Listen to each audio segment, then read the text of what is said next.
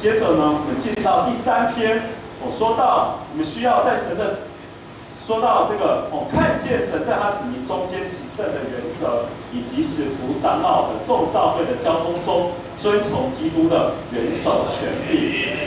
哦，什么叫神行政的原则？在旧约里，我们看见我们的神他并不是独裁，我们的神他也不是民主，我们的神他乃他行政的原则就是神治。而神治是什么意思呢？神乃是借着他的说话来治理，而神的说话有两方面，一个是这个常识的话，以旧约来讲，就是这些的律法。那什么叫做及时的话呢？及时的话就是当大祭司他进到神面前，在神的同在里，他这个他这个带着这个胸牌，就是背负着神的子民到神面前，神就在那里。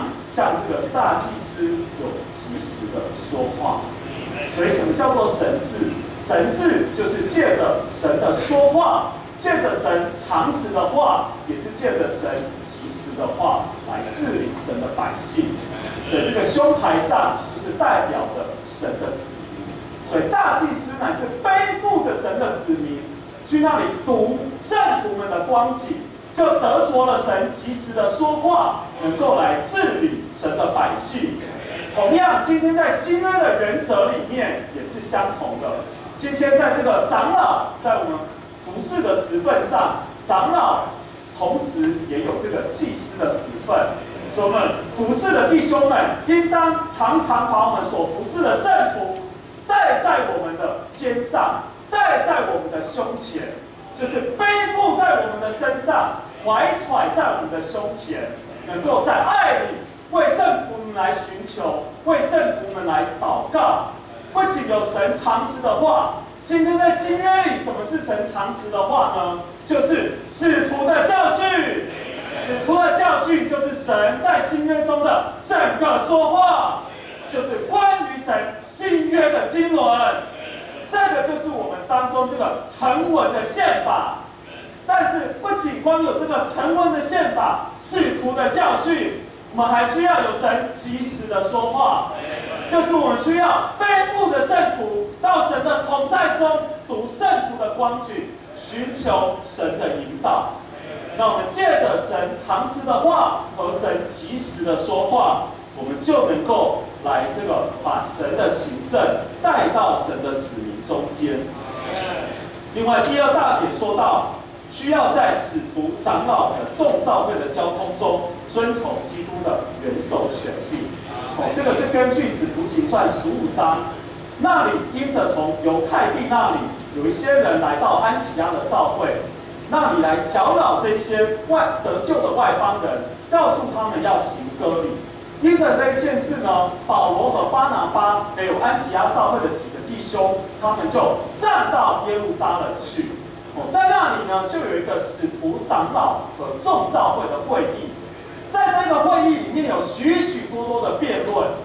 这个会议里面有什么呢？第一个，圣经告诉我们有许多的辩论；第二个，有彼得的见证；第三个，有保罗和巴拿巴他们所陈述的事实；最后第四，有这个雅各，他根据这个圣言。所下的这个决断，所以在这里我们就看见一个议事的原则，事实上是蛮有辩论的。我们会常常想说，啊，弟兄们交通不要辩论。事实上，这种想法并不是真正符合圣经或属灵的想法。这很可能只是我们的天然，我们所谓政治的手腕。我们不想得罪人，我们也不想丢自己的面子。但事实上，在一个交通中应该有许多的辩论，但是弟兄们，我们如何能够有一种健康的辩论呢？在这个辩论里面，能够让圣灵有主权，能够遵从基督独一元首的权柄。让我们看见，在许多的辩论里面，我们需要要有见证，要有事实，我们需要有神的话，需要让圣灵来做主席，这样我们才能够有一种健康的辩论。好所以最后呢，在这篇信息里面，这个弟兄给我们十个点，说到在教会中如何能够有一种健康的辩论，我就很。快的把它说一下。第一个，我们需要敬畏神；第二，我们需要敞开每件事，而没有任何的隐藏；第三个，我们不要坚持；第四个，我们不要在这个聚会之外再去谈论。如果我们在聚会里面我们不能讲的话，我们离开这个聚会，我们也不能讲。第五，我们需要练尽我们的动机和存心。第六，我们不是根据我们的意见、观念或者审判的态度来说话。第七，我们的说要负责且准确。有的话呢，明明在交通中讲过，哎，下一次就说，哎，没有啊，我好像没有讲过这个话，或者说不准确。第八，我们不要耍政治，就是说我们我们不是怕得罪人，或者要给人留面子。第九，我们要谦卑的听，并且要学习发问。第十，必须要没有世界的成分。所以这个弟兄们，你就看见这是一个交通的原则。所以说，这个在交通中，这个没有辩论，事实上很可能只是政治，并不是真正的属灵。但是要一种健康的辩论，我们需要有很多的学习，还要有十字架的功课。所以我们看现在第十五章这个辩论最后的结果。他们在二十八节就说：“但圣灵和我们认为，表示圣灵在那里做主席。